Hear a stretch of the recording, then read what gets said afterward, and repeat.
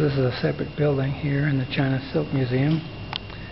This one's dedicated entirely on the, uh, the silk making equipment.